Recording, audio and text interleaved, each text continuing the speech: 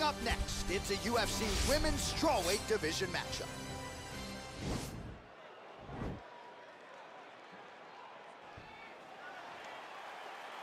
You ready? You ready? All right, so here we go. The consensus two best strawweights in the world meeting for a second time. Zhang Weili won the first matchup with Jędrzejczyk earlier in 2020 at UFC 248, but it was a close fight. Many thought Joanna won that. Many thought Jędrzejczyk won that night. We'll see which fighter has made. Oh! Can't take pictures now. She has to react. She has to go chase the finish. Oh! Edge of your seat action as expected so far. Right, so a nice job there defensively to raise the guard and prevent any damage. Those hands never leave. She is such a diverse striker that that big strike landed, and it looks like she's gonna finish the fight.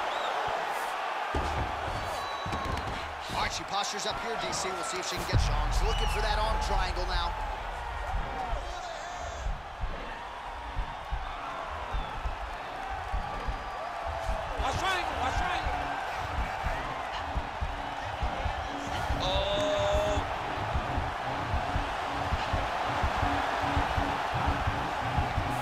This might just be a matter of time.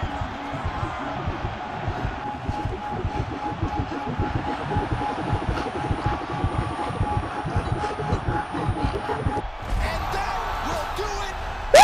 Woo! Let's go, baby. Let's go, baby. What happened? I thought she really gonna beat me up. Knocked you out, then go all the way out. Tapped you out. What's up? Big matter pretty effectively there. That is one of the bigger wins of her UFC Big career. matter what? All right, let's check out some of the action in that previous 안녕하세요. round. She certainly kept the Konnichiwa. stand. She was busy with all those Ni hao. all those takedowns and some really nice takedowns. She did a great job of level changing, getting into her opponent, not allowing her opponent to defend before she can secure her takedown. GG, guys. GG's. Thanks for watching. Well, she couldn't have drawn it up any better than that as she gets the win by submission tonight. Big win and an even bigger statement made to the rest of this division. Ladies and gentlemen, referee Eve Levines called a stop to this contest at 2 minutes, 10 seconds of the very first round. Declaring the winner by tap out due to arm triangle choke, Zhang Weili, it'll be standing room only at her after party tonight as she gets it done by way of submission. Thankfully, Daniel Cormier uh, is on Hit that like I'll be on the button, subscribe, John, I got follow you. for more. We're going it together. I'm not Catch you later, guys. without my partner. Booyah! Man, she's a great grappler. She understands positioning so well, and she knows the moment her opponent